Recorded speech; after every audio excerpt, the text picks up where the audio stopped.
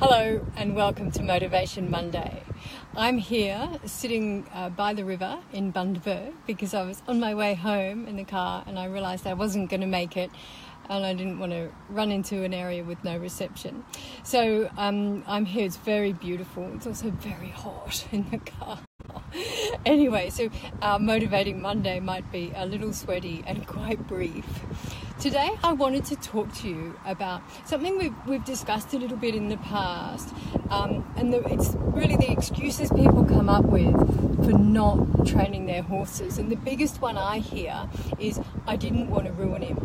And, and people say, I didn't do anything because I didn't know exactly what to do, um, and I didn't want to do it wrong. And I think, to be honest, if if you're here listening to this, you're most unlikely to be the sort of person that is going to do it wrong.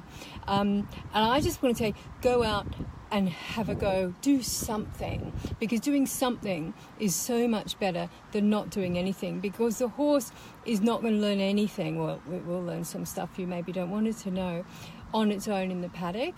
Um, and if you approach the horse, if you are handling it on a regular basis and still too afraid to try and teach it things, it is still going to be learning things and probably things you don't really want it to know. I had a really interesting um, comment on my Facebook page yesterday from somebody who I've known for quite a few years and is a very experienced rider and trainer herself. And she's had one of those special horses. Do you know the ones that um, we just, we look out in the paddock and we think, oh, they're so beautiful. I never thought I'd own a horse that beautiful. And we, I've got one. I think you know anyone who's owned a few horses in their life have one of those special ones, and you're almost too scared to touch it because you think, oh god, it's so special. anyway, she has one of these horses, a big black one, a bit like mine.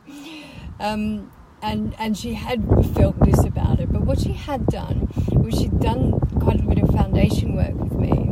So she taught the horse really good give to the bit and shoulder control. And so every time she went out and said, Oh, I don't really know what to teach, she said, Oh, I, I do know what I can do. I can do give to the bit and shoulder control. So this didn't even involve riding the horse. This was just groundwork. Um, and she felt safe and, and everything was fine in that zone. The horse understood it, so the horse was getting praised a lot and, and it was all going very well for both of them. Anyway, as her confidence increased, she started to ride the horse. And what she was saying in the comment yesterday was how amazed she was that when she did get on, it had so much there already because it had all the give to the bit work and all the shoulder control work. So immediately she jumps on, she picks up the reins, the horse drops into frame, is soft in the bridle and is easy to control and she can move it around, she can move its feet wherever she wants it to go. She had all of this. So you know, not only had she not wasted a time, but she'd got this really, really solid foundation from which to build.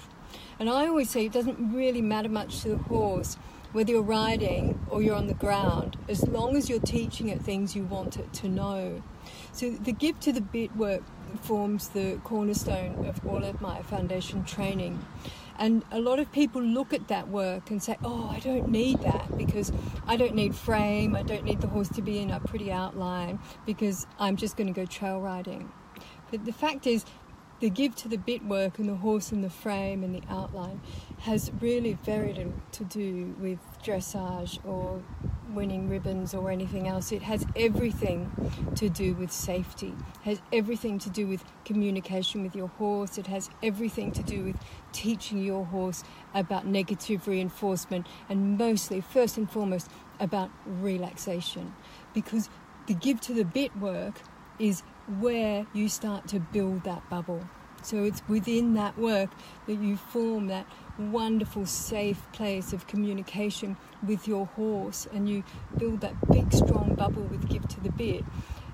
And you can take that with you, as this girl did in the comment. You know, she she'd done all this work on the ground, and by the time she got on, because the horse had already been backed, you know, she'd already been on its back before. That wasn't a problem. Um, by the time she went on, she, she had this big, secure bubble of communication, and she took that off and, and rode the horse off with it. And went, oh, wow, you know. And she didn't even know she was doing that, really. So, what I'm saying is, don't put off doing something just because you're not sure of all the stages. Because, like Amanda showed us, if you can get that much done just on the ground, not even getting on the horse, by the time you get on the horse, that's the next step, you've already got this wonderful solid foundation. So she's got all that shoulder control. Now she can start taking that places and really start working on speed within gait. And she can start, once you can control the shoulders separately, you can then control the hindquarters independently as well. And the sky's the limit. You go on and on. But it's this important groundwork foundation that sets you up for success. The other great thing about the give to the bit is that you can you can do five minutes of it. So let's say you're really busy and you've only got you know two, three, five minute sessions a week with your horse. You know, three 20 minute sessions, whatever you've got. You can actually do some really, really good work. I think you're much better off spending five to ten minutes with a horse doing some very productive work like give to the bit than you are spending an hour with the horse, lunging it around and getting it fit.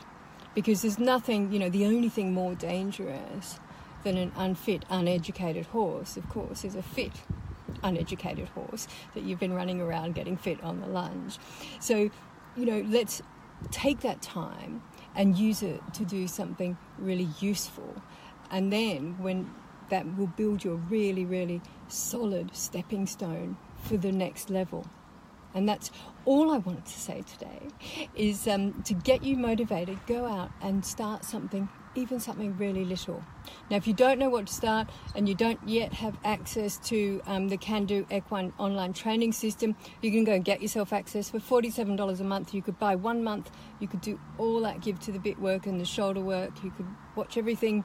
There's, there's hours on there to watch, and it's really well structured, so you will get out there and do it and then you can discontinue if you want to, or you can keep it on and keep progressing with your work. It works like that. It builds on each lesson builds on the other one. You can start at lesson number one, give to the bit, and then work your way up. Or you can, you know, a lot of people do a couple of months work and then they give the horse a rest and they go off for a few months and they come back again. That also works really well as well. The thing to do is to just make a start. And you know, when's the best time to, to plant a tree? If you want a 40 foot tree in your garden, when's the best time to plant it? Eh, 10 years ago, absolutely. When's the next best time? Right now. Same with training your horse. Best time to start? Right now. Okay. Um, if you're not ready, go along to the website anyway, kandooequine.com, and pick up some free training and make a start. There's some great little lessons in there. You can go out today and teach your horse some of those things and you will see just how easy it is to make a start. Once you make a start, you won't look back. That's the first step, though. Go make a start. Have a great week. Bye.